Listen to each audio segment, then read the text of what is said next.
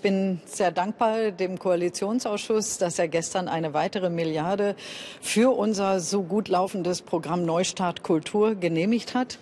Ich denke, das ist vor allen Dingen eins, ein Zeichen der Wertschätzung ähm, und der Ermutigung für die Künstlerinnen und Künstler. Denn mit diesem zweiten Lockdown, der bei Auflage des ersten Programms ja gar nicht eingepreist war, ist so ein bisschen der Eindruck entstanden, als hätte man sich jetzt daran gewöhnt, dass die Kultur stillsteht. Und äh, ich sehe, dass es vielen Künstlerinnen und Künstlern, auch den Einrichtungen inzwischen nicht mehr nur um wirtschaftliche Aspekte geht, sondern dass auch seelische Nöte inzwischen sich breit machen. Und insofern ist es ganz wichtig, dass wir mit einer weiteren Milliarde ein ganz großes Ausrufezeichen auch mal setzen, auch wenn man das international vergleicht.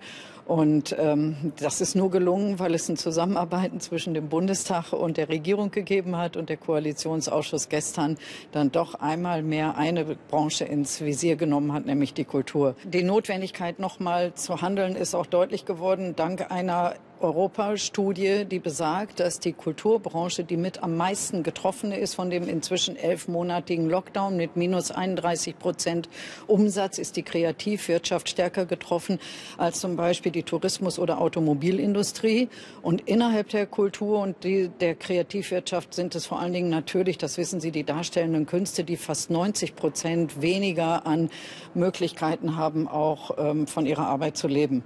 Und deshalb war es ganz wichtig, zumindest äh, finanziell ein Zeichen zu setzen. Wir können, und das ist auch ganz notwendig, ähm, äh, hier zu sagen, auf ein fest funktionierendes Programm aufbauen. Neustart Kultur haben wir ja im vergangenen Sommer mit der ersten Milliarde systematisch so aufgebaut, dass wir mit den Dachverbänden der einzelnen Kultursparten gemeinsam die Hilfen ausarbeitet haben. Und ähm, das Geld ist jetzt die eine Milliarde innerhalb von vier Monaten zu fast 900 Millionen Euro bereits abgeflossen. Also es ist verplant und bewilligt. Und wir haben jetzt schon Überzeichnungen, die über 350 Millionen Euro im bisherigen Programm hinausgehen. Insofern ist es auch evident, dass wir mehr Geld brauchen. Wir müssen das Rad aber nicht neu erfinden, sondern das Programm und sein, ähm, ähm, der Umgang mit diesem Geld funktionieren im Vergleich zu manch anderen jedenfalls sehr, sehr gut. Wir setzen uns seit Monaten für den sogenannten Verlustrücktrag äh, ein. Wir haben auch mehrere Initiativen im Bundestag als FDP dazu gestartet, weil das ein sehr effektives Instrument ist, um den vielen gebeutelten Unternehmen in Deutschland zu helfen. Wir sind deshalb froh, dass die Große Koalition endlich überhaupt mal was dazu beschlossen hat. Die Regelungen sind aber im Detail leider so ausgestaltet, dass es eine Reihe von Unternehmen geben wird, denen das nichts oder nur teilweise etwas bringen wird. Denken Sie an den Zeitraum von einem Jahr und das Beispiel liegt auch auf der Hand.